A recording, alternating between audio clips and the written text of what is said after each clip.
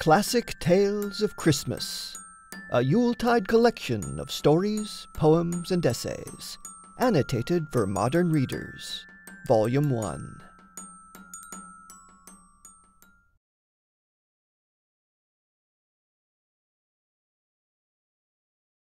One dollar and eighty-seven cents. That was all. And sixty cents of it was in pennies pennies saved one and two at a time by bulldozing the grocer and the vegetable man and the butcher until one's cheeks burned with the silent imputation of parsimony that such close dealing implied. Three times Della counted it. One dollar and eighty-seven cents. And the next day would be Christmas. There was clearly nothing to do but flop down on the shabby little couch and howl so Della did it. Which instigates the moral reflection that life is made up of sobs, sniffles, and smiles, with sniffles predominating.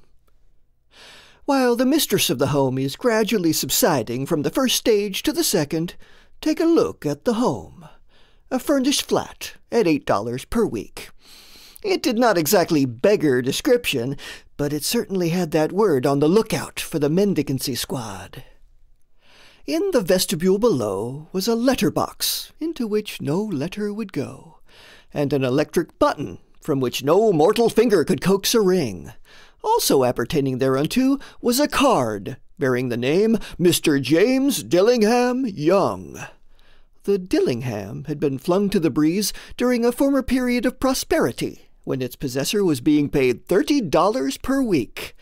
Now, when the income was shrunk to $20, though, they were thinking seriously of contracting to a modest and unassuming D. But whenever Mr. James Dillingham Young came home and reached his flat above, he was called Jim and greatly hugged by Mrs. James Dillingham Young, already introduced to you as Della, which is all very good. Della finished her cry and attended to her cheeks with the powder rag. She stood by the window and looked out dully at a gray cat walking a gray fence in a gray backyard. Tomorrow would be Christmas Day, and she had only one dollar and eighty-seven cents with which to buy Jim a present. She had been saving every penny she could for months with this result. Twenty dollars a week doesn't go far. Expenses had been greater than she had calculated.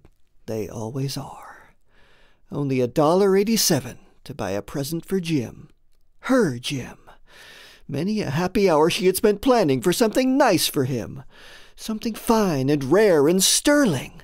Something just a little bit near to being worthy of the honor of being owned by Jim. There was a pier glass between the windows of the room. Perhaps you have seen a pier glass in an $8 flat.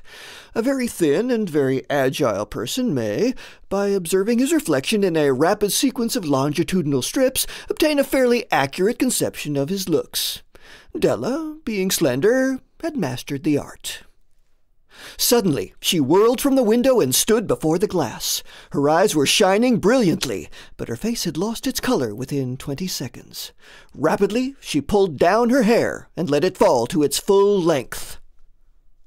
Now, there were two possessions of the James Dillingham Youngs in which they both took a mighty pride. One was Jim's gold watch that had been his father's and his grandfather's. The other was Della's hair. Had the Queen of Sheba lived in the flat across the airshaft, Della would have let her hair hang out the window some day to dry, just to depreciate Her Majesty's jewels and gifts. Had King Solomon been the janitor, with all his treasures piled up in the basement, Jim would have pulled out his watch every time he passed, just to see him pluck at his beard from envy. So now, Della's beautiful hair fell about her, rippling and shining, like a cascade of brown waters. It reached below her knee and made itself almost a garment for her. And then she did it up again nervously and quickly. Once she faltered for a minute and stood still, while a tear or two splashed on the worn red carpet. On went her old brown jacket, on went her old brown hat. With a whirl of skirts and with a brilliant sparkle still in her eyes, she fluttered out the door and down the stairs to the street. Where she stopped, the sign read, Madame Sofronie, hair goods of all kinds. One flight up Della ran and collected herself, panting. Madam, large, too white, chilly, hardly looked the Sofronie. Will you buy my hair? asked Della. I buy hair, said Madam. Take your hat off and let's have a sight at the looks of it. Down rippled the brown cascade. Twenty dollars, said Madam, lifting the mass with a practiced hand. Give it to me quick, said Della. Oh, and the next two hours tripped by on rosy wings. Forget the hashed metaphor. She was ransacking the stores for Jim's present. She found it at last. It surely had been made for Jim and no one else. There was no other like it in any of the stores, and she had turned all of them inside out. It was a platinum fob chain simple and chaste in design, properly proclaiming its value by substance alone, and not by meretricious ornamentation, as all good things should do. It was even worthy of the watch. As soon as she saw it, she knew that it must be Jim's. It was like him, quietness and value. The description applied to both. Twenty-one dollars they took from her for it, and she hurried home with the 87 cents. With that chain on his watch, Jim might be properly anxious about the time in any company. Grand as the watch was, he sometimes looked at it on the sly, on account of the old leather strap that he used in place of a chain. When Della reached home, her intoxication gave way a little to prudence and reason. She got out her curling irons and lighted the gas and went to work repairing the ravages made by generosity added to love, which is always a tremendous task, dear friends, a mammoth task. Within forty minutes, her head was covered with tiny, close lying curls that made her look wonderfully like a truant schoolboy. She looked at her reflection in the mirror long, carefully, and critically. If Jim doesn't kill me, she said to herself, before he takes a second look at me, he'll say I look like a Coney Island chorus girl. But what could I do?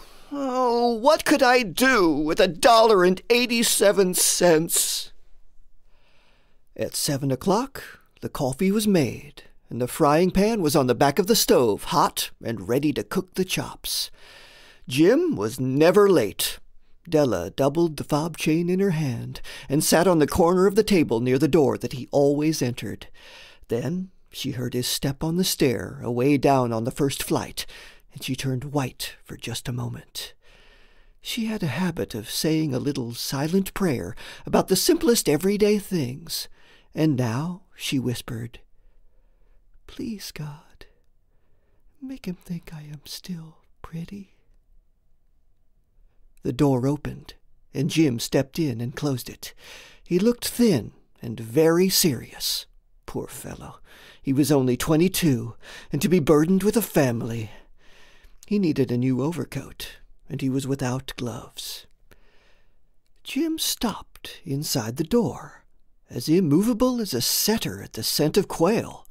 His eyes were fixed upon Della, and there was an expression in them that she could not read, and it terrified her. It was not anger, nor surprise, nor disapproval, nor horror, nor any of the sentiments that she had been prepared for. He simply stared at her fixedly, with that peculiar expression on his face. Della wriggled off the table and went for him. Jim, darling, she cried, don't look at me that way. I had my hair cut off and sold because I couldn't have lived through Christmas without giving you a present. It'll grow out again, you won't mind, will you? I just had to do it. My hair grows awfully fast. Say Merry Christmas, Jim, and let's be happy.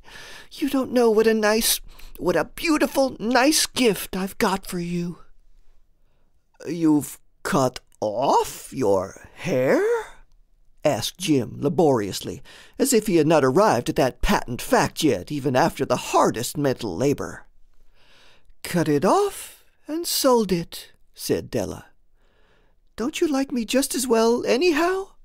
I'm me without my hair, ain't I? Jim looked about the room curiously. You say your hair is gone?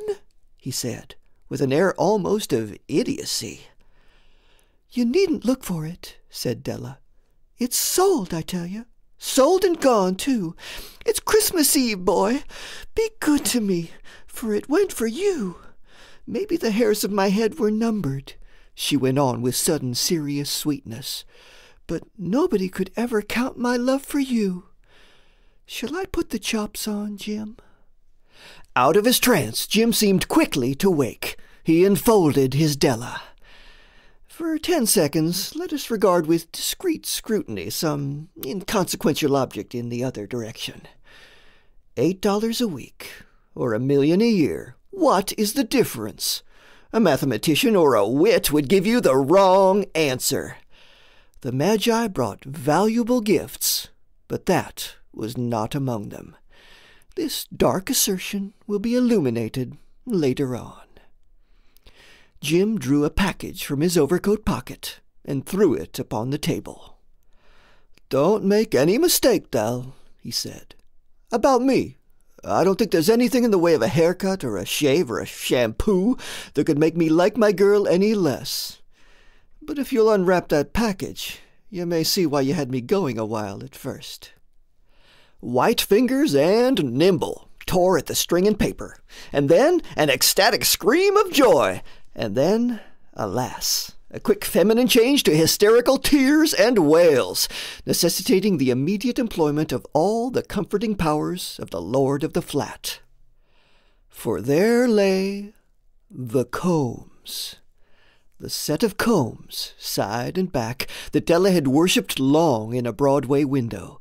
Beautiful combs, pure tortoiseshell, with jeweled rims, just the shade to wear in the beautiful vanished hair. They were expensive combs, she knew, and her heart had simply craved and yearned over them without the least hope of possession. And now they were hers, but the tresses that should have adorned the coveted adornments were gone. But she hugged them to her bosom, and at length she was able to look up with dim eyes and a smile and say, My hair grows so fast, Jim. And then Della leaped up like a little singed cat and cried, Oh! Oh! Jim had not yet seen his beautiful present. She held it out to him eagerly upon her open palm. The dull, precious metal seemed to flash with the reflection of her bright and ardent spirit. Isn't it a dandy, Jim? I hunted all over town to find it. You'll have to look at the time a hundred times a day now. Give me your watch. I want to see how it looks on it. Instead of obeying, Jim tumbled down on the couch and put his hands under the back of his head and smiled. Dell, said he, let's put our Christmas presents away and keep 'em a while. They're too nice to use just at present. I sold the watch to get the money to buy your combs. And now suppose you put the chops on. The Magi, as you know, were wise men, wonderfully wise men, who brought gifts to the babe in the manger. They invented the art of giving Christmas presents. Being wise, their gifts were no doubt wise ones, possibly bearing the privilege of exchange in case of duplication. And here I have lamely related to you the uneventful chronicle of two foolish children in a flat, who most unwisely sacrificed for each other the greatest treasures of their house. But in a last word to the wise of these days, let it be said that of all who give gifts, these two were the wisest. Of all who give and receive gifts, such as they are wisest. Everywhere they are wisest. They are the Magi.